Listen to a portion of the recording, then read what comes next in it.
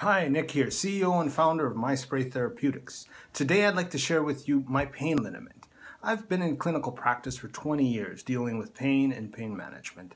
We've tried it all, and, and, and you probably have as well. If you're dealing with pain, you've tried it all. There's countless different uh, creams, ice gels, heat creams, glucosamine creams, arnica creams. The list is endless when we really look at what's on the marketplace for uh, dealing with pain uh, and pain management with a topically applied product. The problem with all of those is we have to understand that the skin is a barrier. So when we use those, they're known as counter irritants. Essentially, they're making the skin feel hot or cold or giving you that sensation to distract you from the pain, but not getting to the actual source of the pain and where the problem really lies. This product, unlike anything else, has that ability. We have uh, been working with DMSO, dimethyl sulfoxide. Now, for many years, it's been around since the 1800s. It comes as a result of when you take a tree and you turn it into pulp. That liquid that the chunks of bark and cellulose fibers and all of this goes through, that liquid becomes DMSO. So it's completely natural. It's also non-patentable, and that's why it hasn't had a huge influx uh, globally but it has that ability to penetrate all cells. So within seconds, it's right into the muscles, the joints, the ligaments, the tendons, right where the source of the pain and the problem is. Now with that, it does a few key things. Number one, it blocks the peripheral C nerve fibers. So what that means is it's going to stop the pain. And that happens, if you check out some of the testimonials with a lot of different situations, it's almost instant.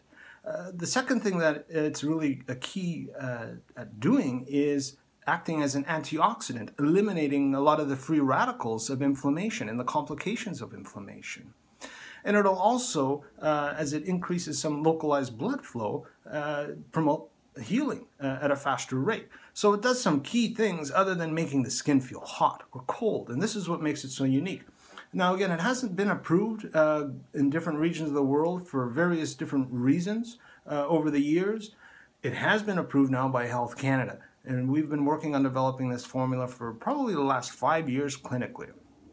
The uh, DMSO by itself has always been known to have some complications or, or side effects. And ultimately, that it can become a little bit harsh on the skin, uh, causes a little bit of redness, itchiness, uh, but the key thing is because it's so rich in sulfur, it stinks like garlic uh, or oysters. Garlic oysters is a good way of looking at it.